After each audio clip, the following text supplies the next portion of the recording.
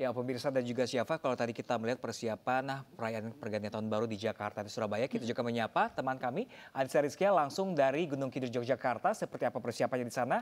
Halo selamat siang Anissa bagaimana persiapan pergantian tahun baru di Gunung Kidul Yogyakarta nanti?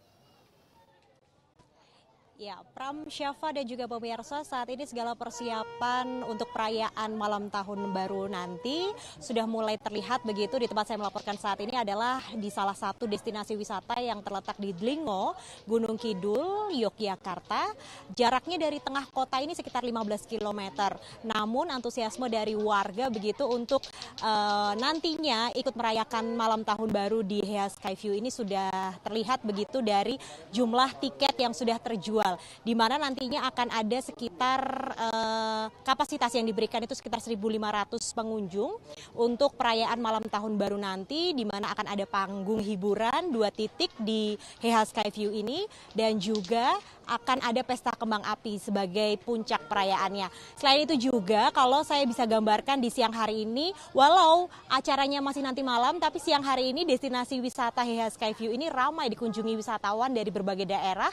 Jumlahnya bisa saya katakan ribuan, di mana rata-rata jumlah kunjungan di masa libur Natal dan Tahun Baru ini sekitar 3.000 kunjungan, yang itu artinya tiga kali uh, peningkatan jumlah kunjungan di hari-hari biasanya. Seperti itu Pram dan juga Syafa, laporan dari Gunung Kidul saya kembalikan kepada Anda.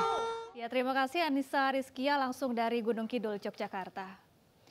Pemirsa pemerintahan Presiden Joko Widodo menargetkan pembangunan sembilan bendungan rampung hingga akhir tahun 2022. Ya, pemirsa lima di antaranya telah diresmikan termasuk bendungan Beringin Sila di Sumbawa. Dan pemirsa informasi juga sekaligus menutup jumpa kita dalam Ayu Siang hari ini. Tetap jaga protokol kesehatan karena pandemi belum usai. Saya Pram Senja dan rekan saya. Dan saya Syafaati Suryo, pamit undur diri, selamat beraktivitas dan sampai, sampai jumpa. jumpa.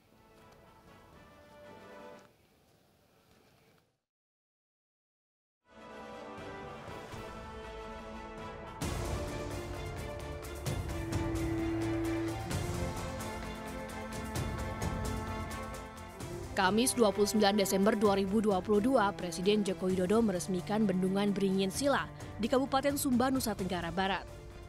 Jokowi mengklaim Bendungan Beringin Sila menjadi bendungan ke-35 yang telah dibangun dan diresmikan di masa jabatan Presiden. Bendungan Beringin Sila menghabiskan anggaran sebesar 1,7 triliun rupiah. Memiliki luas genangan 126 hektar dan bisa mengairi 3.500 hektar sawah. Di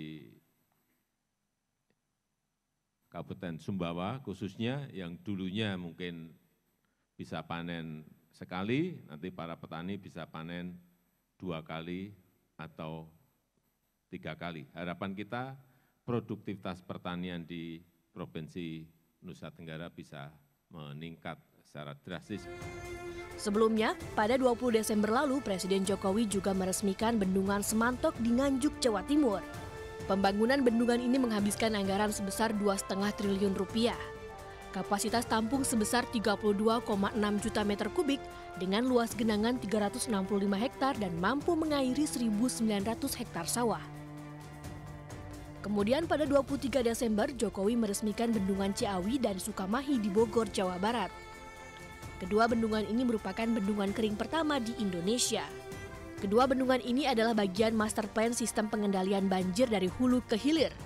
Diharapkan dengan adanya kedua bendungan ini mampu mengurangi kerentanan banjir di kawasan Jakarta. Bendungan Sadawarna di Subang, Jawa Barat juga menjadi bendungan yang ikut diresmikan Jokowi tahun ini.